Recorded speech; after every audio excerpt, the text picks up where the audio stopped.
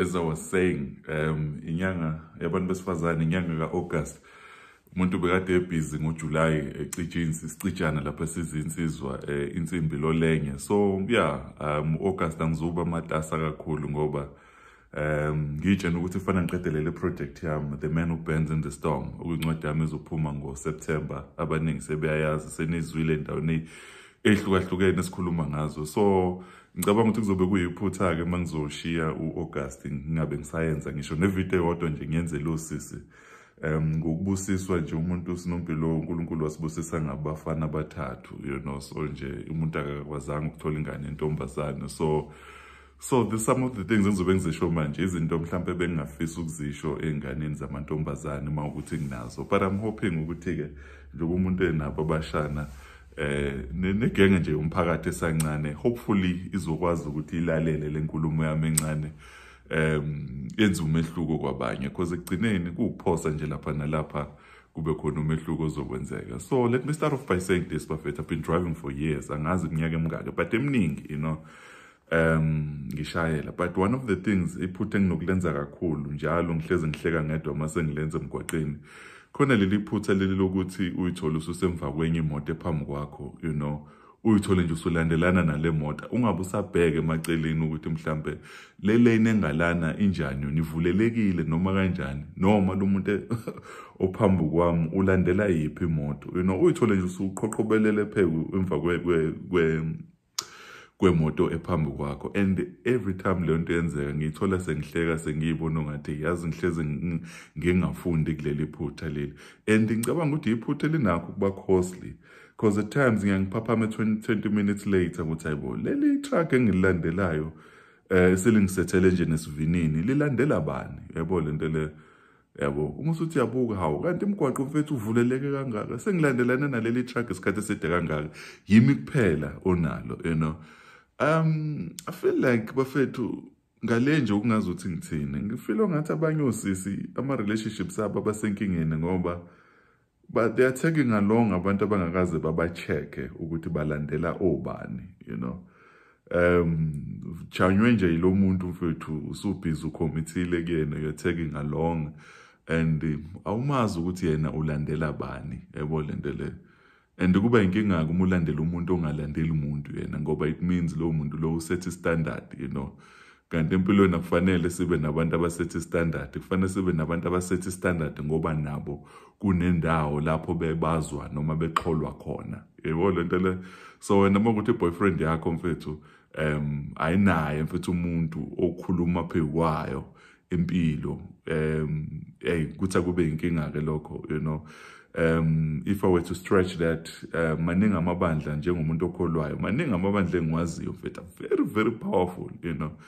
I-concern yami engiyaye ngibe nayo ngawo ngingasho ukuthi i-concern mhlawumbe uNkulunkulu asuke nayo ngabo but i-personal concern ukuthi umuntu uyababuka abaholi balawo mabandla akuveli ukuthi bona balento lena babasubmitha kuyiphi leadership you know.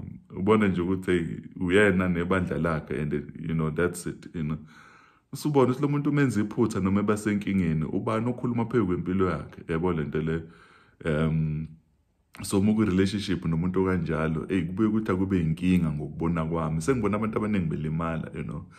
Um simply because awunawo umuntu okhuluma naye.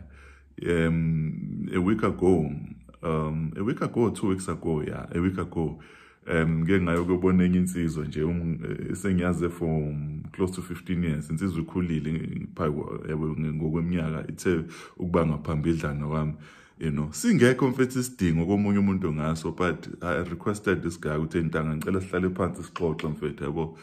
I needed to speak to this guy because benginama personal challenges you know. And ama personal challenges ngikhuluma ngama challenges that you know one could say mhlawumbe angaphila now but bengibona ukuthi they are becoming destructive or into that can easily be destructive. And ngahlala naye lo mbhemi ngamcela ngathi indoda because bezothi sigejana ngifuna ukukhuluma naye ngagcine ngilitholile ithuba ngakhuluma naye bethu you know and we had a good conversation you know. He was just speaking phe kwempilo yami. Ngimnikeza ne-opportunity ukuthi angihlabe mfethu angixeke. Asho zonke izinto ukuthi hayi usuyaflobha-ke wenzani? Yabo yonke le nto le. So uma umuntu ufethu ungenayo indawo la ukwazi ukuhlala khona phansi ikakhulukazi uma buye wenza izinto la kwenza izinto la abantu bakushayela izandla bakubabaze indlela ozenza ngayo izinto. Kuba lula ukuthi ugcine usuba i-social ey'khuzayo noma ube umuntu osubona ongazi ukuthi awusadingi ukuthi ube nama-mentors noma ube nabantu abazokhuluma phezu kwempilo yakho. Kuba inkinga-ke kunjalo. Njengoba nje sengibe semshadweni isikhathi eside kanje like sikhuluma ngo-10 plus years um i just wanna say kuwosisi abancane. Ukukhomitha kwi-relationship ne-out ongayazi ukuthi ubani okhuluma phezu kwempilo yakhe. Angikhathali lo muntu ukhule engenamalume engenababa engenabani. That person has to have somebody azomqoka mfethu athi nangumuntu. Uma sengishiselwa ikhanda kwenzakalani? Ngowukhanda shisa. I know ukuthi there's somebody othi uma sekukhulumile umethe nje yeyeye yeyeye ebese ngiyathula regardless ukuthi um you know bengibona ongazuthi angikho ephutheni kanjani. We, we need abantu abakanjalo and uma kuthiwa ngiyakhomenta kuleyo nto ngiyangibona ama-relationships amaningi ukuthi osisi oh, abalinyazwanga abanye ukuthi bangene kuma-relationships eh, nabantu aba-wrong noma bama-monsters or what. But ungene kwi-relationship nomuntu ongakazi wamcheck ukuthi ubhawa kubani you know um usubmitha kubani yabo le nto le?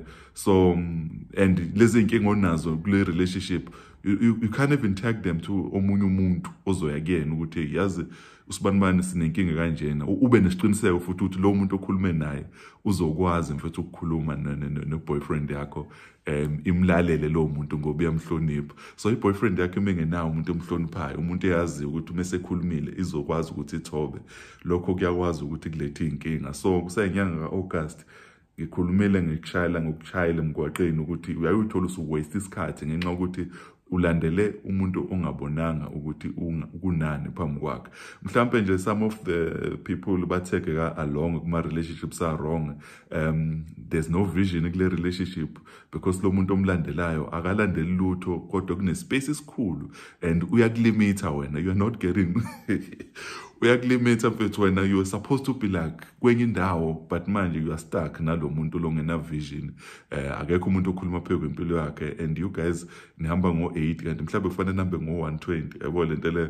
So ama-relationships amaningi sengivala kuleli phuzu lami. Kuyaye kithi uma kuze umuntu ezokhala kumina usisi ukuthi i-relationship yami kwenzakala ukuthi lo muntu akasakhulumi lo muntu kwenzakala ukuthi ngivesane ngibone ukuthi eyi ngokuthobeka nje ngibe nakho lokho ukuthi yo my sister akungoba lezi inkinga zikanjani? I think you just wavesane wathega along blindly because ubunothando you know. Abanye abantu bajatsheliswa ukuthi abantu abathandana nabo banamakhanda ashisayo bawokhanda ashisa and then wena ikuchame lo nto ungabe usayibona lo nto ukuthi ishingozi lo nto ukuthi ngelinye ilanga lo muntu lo obese eseyisidlamlilo la kuwena you know. Wena ujatsheliswa ukuthi nje unekhanda eqinile yabo nje yabo kuba ngathi yakuchama lo nto le kanti awubona ukuthi kungekudala uzobe sebhodla la kuwena umlilo sekulimala wena.